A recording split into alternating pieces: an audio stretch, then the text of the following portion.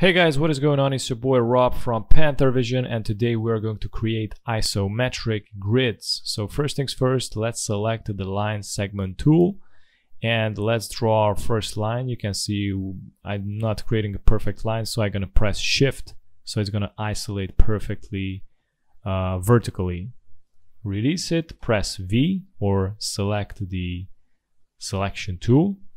From here I'm gonna press Alt and bring it to the right and press shift at the same time. So it's going to isolate it perfectly. It doesn't move. It's going to stick it there.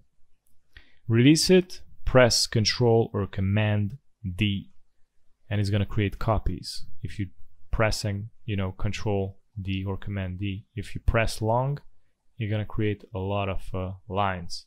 You can see here it's not aligned correctly so I'm going to press this little button right here the vertical align center okay and I'm gonna uh, press right click press group and now we're gonna press R. You can find it right here.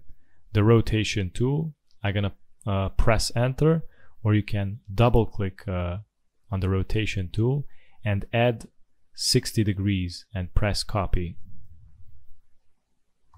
All right. So we got this right here right now. We're gonna press again double click or press enter on this and we're going to create another copy. And here you can see we had the isometric grids perfectly. Thanks for watching hope it helped and don't forget to like and subscribe. Bye bye